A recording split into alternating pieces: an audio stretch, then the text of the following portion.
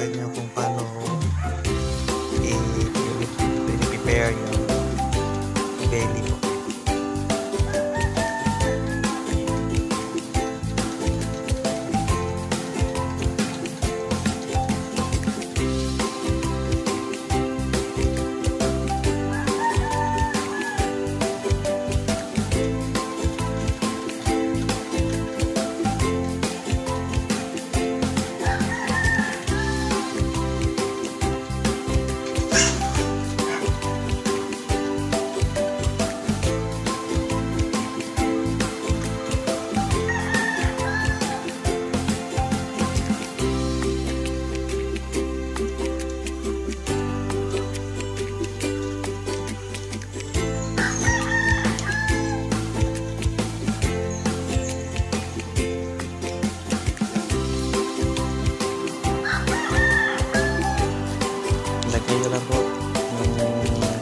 Temperature sa mainit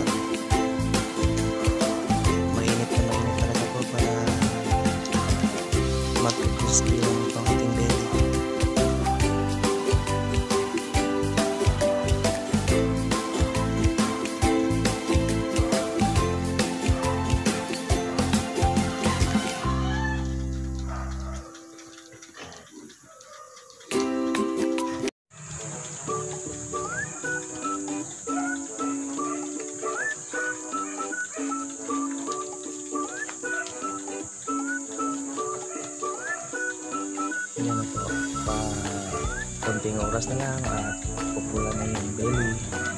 Pag pumula na siya, tsaka pa natin na pupunasan po.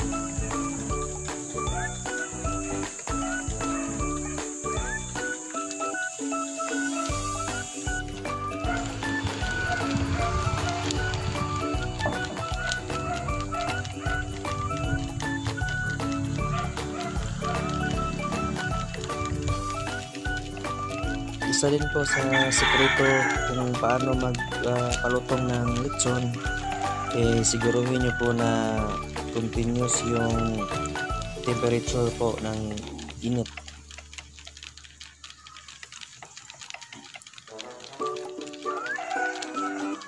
Tsaka huwag masyadong malayo yung ano yung uling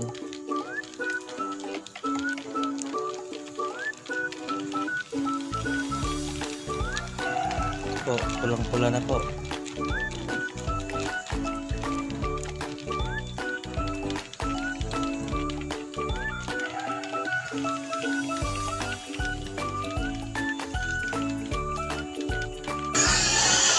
Luto na po yung ating belly.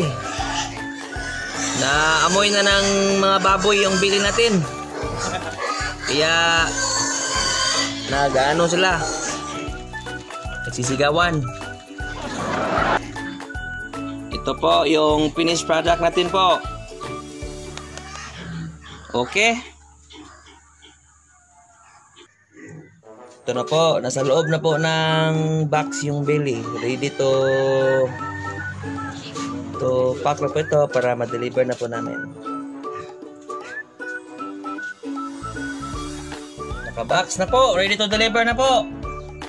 Abangan nyo lang po yung next ah, video namin kung paano itahi yung belly. Salamat po!